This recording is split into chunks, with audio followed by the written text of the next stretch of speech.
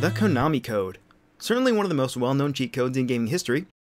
It's cited most frequently for its inclusion in the 1987 NES classic, Contra, but in reality, it's actually present in nearly 100 other Konami titles, as well as countless references by other companies, and even sites like Google and Facebook.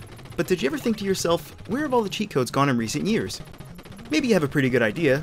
You could easily argue that the decline of codes is due to cultural or developmental shifts in gaming, or that codes no longer fit the artistic vision or the natural evolution of the industry.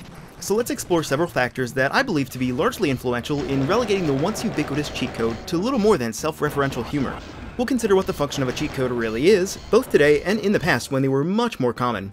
Lastly, we'll consider what the death of cheat codes says not only about the progression of the gaming industry, but also us as consumers dictating trends over time. In years past, codes were everywhere.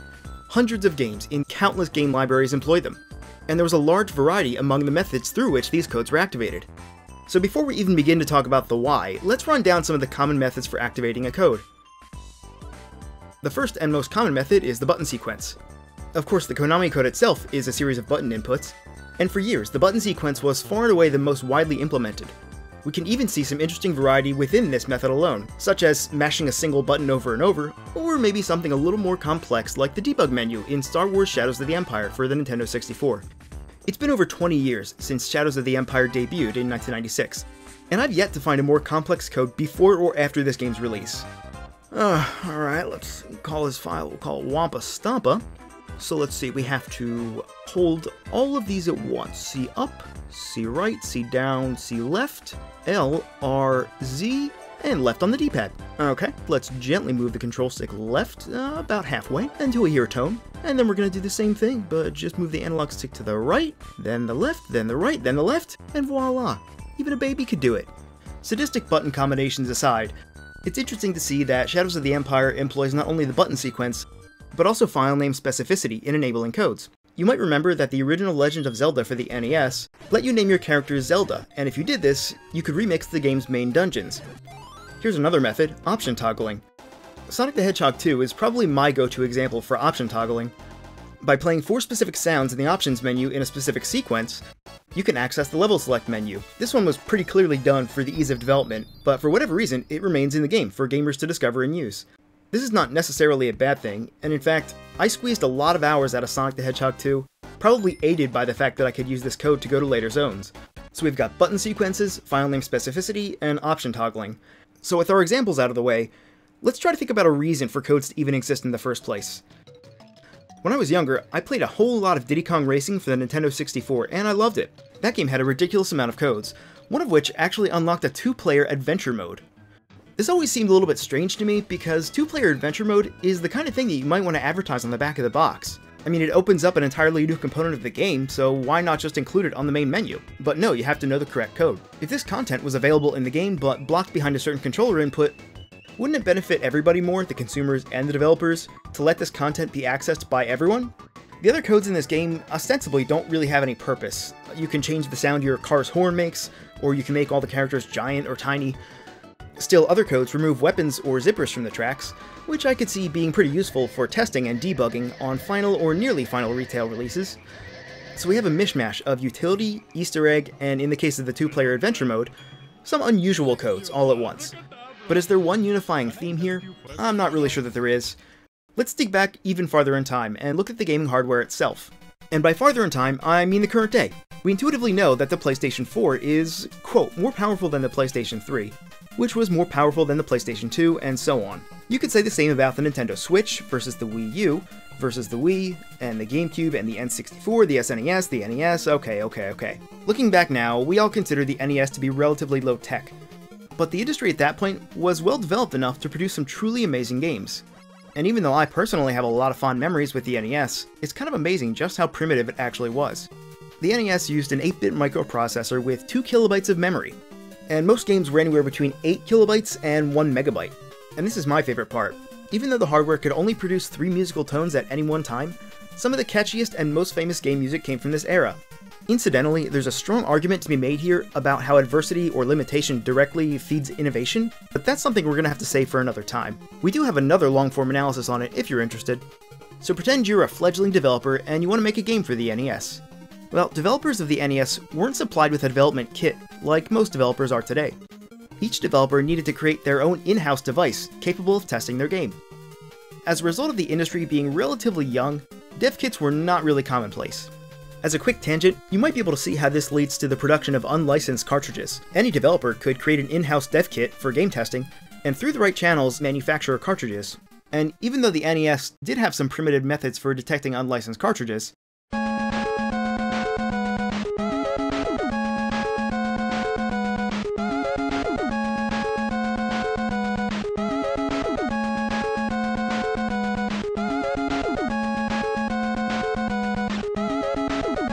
So now you've got your own in-house dev kit.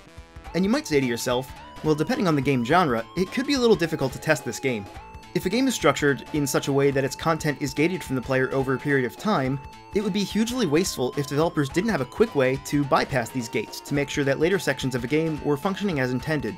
If you were a developer for Sonic the Hedgehog 2, and you had to test something in Mystic Cave Zone, you probably wouldn't want to play the game up to that point each time. Man, if only there was some way to get there directly to get the job done faster. Well, luckily, a few other programmers implemented a level select menu, and that'll just be our little secret, right? But things have changed dramatically for game developers. Nintendo will now work with you to get a standardized development kit that allows a huge amount of freedom as you're designing a game. Some features for a standard development kit might include extra ports, compilation or game recording software, and various other tools made by Nintendo themselves that essentially guide a player down the path that's most likely to lead to a successful launch.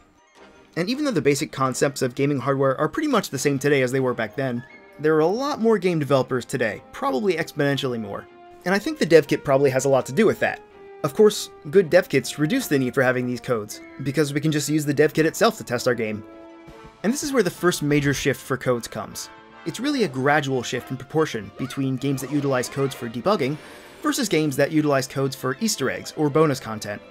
Like we just said, maybe the dev kit has something to do with it, but what else could have caused this gradual shift? Well, I think the functional shift in game codes is not causal. What I mean is, I think it's actually an effect from some cause that we have yet to identify in this discussion. What other causes could there be? Why don't we look at some of the changes that were taking place in the game industry at that time? If you consider the general tonal shift in games over the last 20 years, you might discover that we used to gate players pretty heavily but we've gone from gating via difficulty, where the replayability in games comes from you dying way too much, to gating via exploration. I would take a guess that standardized dev kits have something to do with this. But both methods achieve the same goal. Player pacing is a pretty important issue, and whether it's by difficulty or exploration, it has to be done somehow.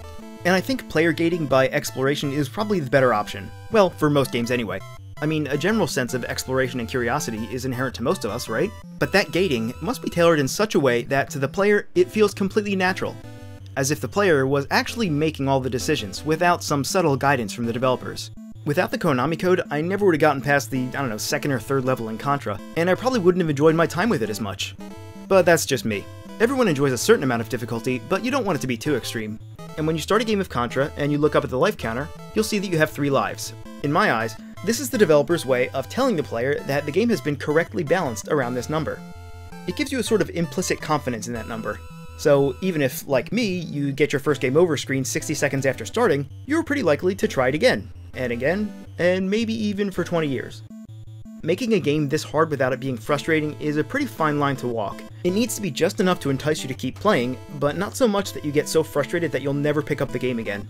In other words, if we consider codes in decades past to be the sort of antidote to a game's difficulty, this might be one way to explain why codes don't really exist anymore. Most games today aren't gated by difficulty, they're gated by exploration instead.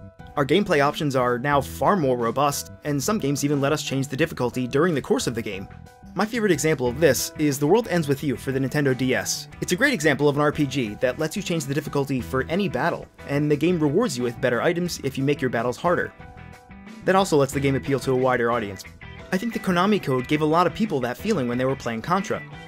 The Konami code effectively adjusts the balance of the game to be more in line with whatever the player is expecting. You could argue that the Konami code functions as a failsafe for difficulty. Maybe the developers are so good at Contra that they incorrectly judge the game's balance. But we do have an out here just by putting in this code. Let's fast forward to a game like Morrowind or Skyrim. A player could technically finish the game by beelining through plot-relevant quests, and you could reach the credits in just a couple of hours. And yet many players have spent hundreds and hundreds of hours on these games. How is that possible? Well, as you might have guessed, games like Skyrim are gated by exploration, where the side quests are the main content. Okay, back to Contra one more time. Let's take a look at the level flow here. The game follows a linear path from beginning to end. As long as you can survive, you'll make it to the final boss. Note the lack of any side areas, secrets, or bonus content. The game simply doesn't need these things to entice the player to continue playing, because the completion of the game itself is its own reward. And sure, if technology had been a little more developed in 1987, we might have some of those features, but the fact that a game can still be considered a classic, even without all the bells and whistles, says a lot about a game's internal construction. There were hardly any cutscenes to speak of in these early years, and most games didn't feature any extra content that the player wasn't guaranteed to experience. If a developer has trouble reliably completing the game because of its difficulty, it would be pretty useful to have a workaround. Here we come to the infamous Konami code. Actually, the code was first implemented in the game Gradius by a developer who was porting it to the NES. The story goes that in 1986, a developer named Kazuhisa Hashimoto had trouble finishing the game. He then added the Konami code for his own benefit, but forgot to remove it before the game shipped. In a 2003 interview, he's quoted as saying, The arcade version of Gradius is really difficult, right? I never played it that much, and there was no way I could finish the game, so I inserted this so-called Konami code. Variations on game codes have made their way into the consoles of more recent hardware too, and they actually have a lot of useful functions. For example, you can put your PS3 into safe mode using only the power button in a specific series of inputs. This is useful for both programmers and consumers, and it doesn't really affect anything negatively if consumers discover it. Other times, they don't serve a specific purpose, but are still fun to discover. If you hold certain buttons on the GameCube controller as the system boots, you'll get an easter egg in the form of different splash screen audio.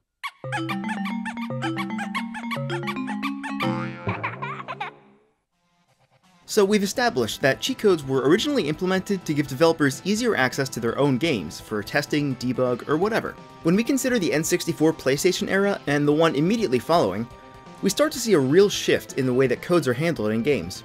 By this point, games are fairly mainstream. The technology available to all parties has improved significantly, and the games themselves are much more complex. Giving 30 lives in a game like Final Fantasy VII doesn't really do you a whole lot of good, because obviously there's no life counter, and every year fewer and fewer games adopt such outdated mechanics like lives and score count. What kind of cheat code could you actually put in a modern RPG that wouldn't outright destroy the game's integrity? In fact, the abundance of RPGs during this time represents the genre shift that downplayed cheat codes even further. At this point, they're mostly relegated to action or fighting games, usually one-player titles like Grand Theft Auto. The very foundation of codes at this point was severely damaged. Sometimes it was still used for debugging or unrestricted access to a game's content, but more and more we started to see easter eggs for the player to discover, but of course they serve no real purpose. Here's an example that, while cliche, is still one of my favorites. Consider the secrets in Banjo-Kazooie for the Nintendo 64. In the game's second level, you can spell out words using a series of tiles. It took years before anyone discovered that you could spell out entire phrases and unlock certain areas of the game that teased the player with their contents, but provided no actual route to access them. When these codes are entered, not in the form of button presses, but in the form of complex controller commands using Banjo, the player will see a few extra cutscenes that, again, don't really affect the game at all. Here's a weird example from Hudson Soft's 1997 title, Bomberman 64. You can unlock extra battle stages in multiplayer mode, but to do this, you have to mash start on the title screen as fast as you can. You'll hear a sound when you've done it correctly. The logic here kind of boggles me. Clearly, the developer doesn't intend for these levels to be easily accessed by the average player. At the same time, the only barrier is a code that consists of one button pressed repeatedly. We've come a long way since the Konami code was meant to be removed but forgotten, so leaving this code in was likely a conscious choice by the developers. I mean, it makes sense that this code exists since these levels are only attainable after collecting 120 gold cards scattered throughout the game. Gating this content is also fine, especially if the player knows what they're working towards. Giving the player an alternative that is not only easy, but requires almost no effort, like just mashing the start button, might detract from what would otherwise be a satisfying reward. If the barrier to play these extra stages is nearly non-existent, it just creates a tedious step for the player. I think the better solution here would have been to just unlock these stages from the get-go. In 2001, the PlayStation 2 ushered in a new generation of gaming, and even though we've seen Easter eggs before, this is really the first time chronologically that we begin to see non-utilitarian cheats in abundance. Grand Theft Auto titles for the PlayStation 2 contained lots of cheat codes you could use to give yourself access to weapons and vehicles. It's pretty likely that this wasn't needed much for developer testing, but was instead intentionally added to the game as a treat for the consumer. Since the GTA series thrives on its variety of gameplay elements, in particular simply running around its world and interacting with everything to see what happens, it does make a lot of sense to give the player an option to acquire items without going through all the rigorous slog of manually finding them all. At the same time, we started to see the rise of online multiplayer titles like Halo or World of Warcraft, which meant that there was really no place for cheat codes in the average blockbuster. Instead, it was the vastness of these game worlds that allowed for a player to discover similar rewards as might have once been given by codes, Here's where exploration really flourished as the power of consoles grew, and we began to see game worlds that were much larger than we had ever experienced previously. This meant a lot more time exploring, which meant more secrets to uncover for gamers. In a way, the fact that technological improvements in each console generation allowed for bigger and more detailed worlds was a strong catalyst for the death of cheat codes. We now have extremely complex worlds to explore, whether we're doing it on our own or with a group. Sometimes we're trying to kill the other team, and sometimes working together. But by and large, the convergence of mainstream online and massive jumps in developer tools greatly accelerated the death of traditional codes. There's a well-known incident involving a hidden room in Batman Arkham Asylum, a relatively recent title with an easter egg that went unfound for months after the game's release. In a way, this hidden room represents the cheat codes of older generations, in that it provides the consumer with additional secret content, but just as with our Banjo-Kazooie example, this content is found by manipulating the game's mechanics themselves, rather than by a long series of button inputs. So to sum up, we've seen that developer tools, online play, and tonal shifts have had a lot to do with the loss of cheat codes. But the online component does go a little deeper. This online component of gaming does bring a lot of cultural baggage to the table. This is most easily seen in today's achievements or trophy systems. Since such rewards are typically broadcast or available for others to see, it doesn't make sense to dish these out inconsistently. I mean, nobody wants to see that the guy at the top of the leaderboard got there just by cheating. Some games have found a workaround to this problem by disabling score uploading or achievements as long as cheats are active. Ever since these game mechanics really picked up steam in the industry, what few cheat codes there actually were in gaming pretty much dwindled to nearly zero. And although microtransactions are almost universally reviled, they too play a part. Developers are disincentivized to provide cheat mechanics. They might want to later add DLC with a function similar to cheat codes farther down the line, or they might want to keep the game's mechanics as open and fair as possible, so that the addition of any DLC doesn't skew the game balance. For example, you might be debating whether to add a powerful weapon to your game. You don't want just any old gamer to have it, so you choose to gate that content until players have completed the game. You can then spew some cryptic clues around your game world until a clever player is able to solve the mystery, and input the correct series of button presses to unlock it. But on the other hand, this seems like a lot of inefficient work. You may decide to simply scrap the idea entirely unless the game sells fairly well. If it does, and you have willing and able developers, you can actually add that content later on as DLC. This is a slippery slope, of course, but it's really up to the developer's discretion, and I can only really speculate about the inner workings of DLC development. The benefit to this DLC is that, instead of spending an extra week adding this powerful weapon to your game, you can now ship the game out one week earlier, which should save a little bit on development costs. I can't even imagine how much it costs per week to develop a title like Grand Theft Auto or Super Smash Bros. And since the secret content is optional anyway, it's not detracting from the game's intended experience, and you can still add it later, as well as some alternate costumes or NPCs, all for just a low payment of $5.99. That being said, development times have probably gotten a lot longer these days, and budgets have certainly gotten larger. Cheat codes don't really make sense in this context, because spending a few months coding Pac-Man for the Atari 2600 was way less expensive than the work needed to put out a game like Skyrim. With development costs rising, a focus on exploration and longevity, and the obligatory achievement system, it seems like there's just no place at all in today's industry for cheat codes. Because of gaming's modern focus on exploration, it simply doesn't reward anybody for allowing such free access to what a game has to offer, and both developers and consumers could suffer as a result. It's this last point that conveys the overall message regarding cheat codes in games. If nothing else, they've been a useful tool for the industry to eventually stand up on its own two legs and become an independent, fast-growing sector of art and entertainment. They first allowed developers to efficiently playtest their games, and once there were good games on the market, consumers responded by demanding more. It's clear that today's games, being much more sophisticated, have largely negated the need for debug menus that are accessible to just anyone. Furthermore, when a secret like that of Batman Arkham Asylum is revealed, it comes as a big shock to us in the age of data mining, this has been just a brief summary of the evolution of cheat codes. First as a method for developer testing, then intentionally added as Easter eggs for consumers, and finally, we've witnessed the gradual reduction of cheat codes within the industry as it shifted towards a more interwoven, frequently online style of game. It's interesting to think that trends like this one come and go, especially when they've persisted for decades. And no matter where we go from here, a small part of me will always be sad about the death of cheat codes. Hey, it's me again. We couldn't have done this without the very generous support from all of our patrons. So, Alchemic, Parker Myers, Sam Myers, HJ, Delicious IB, Austin Yarger, Sea Bomber, David Lopez, Moogle Girl, Kat Prague, Arno Benefice, Brian Hinson, Lauren Helgeson, Atlas Jackson, and Brian Feral Pony Feeney. Thank you all for supporting us. The retrospective for this analysis is now live on the Patreon. Even if you're not a patron with us yet, you can still get channel updates and news on the Patreon page. Apologies for the voice. I recently caught a cold. Again. Ugh, God. Thanks for watching. We'll see you next time.